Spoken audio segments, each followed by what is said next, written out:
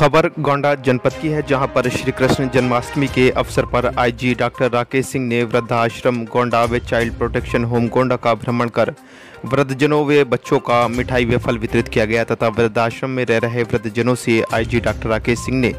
उनके स्वास्थ्य के बारे में जानकारी ली एवं उनसे समस्याओं के बारे में पूछा तथा उनको हर संभव मदद करने का भरोसा दिया। आईजी डॉक्टर राकेश सिंह ने चाइल्ड प्रोटेक्शन होम गोंडा जाकर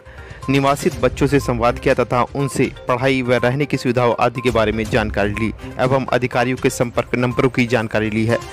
आईजी डॉक्टर राकेश सिंह द्वारा बच्चों की देखभाल करने वाले कर्मचारियों से बच्चों को अच्छा माहौल प्रदान करने के साथ ही बच्चों को जागरूक करने तथा जनपद के सभी मुख्य अधिकारियों के मोबाइल नंबरों की जानकारी देने की बात कही है तथा छः माह से भी कम उम्र के बच्चों की विशेष देखभाल हेतु दिशा निर्देश दिए हैं।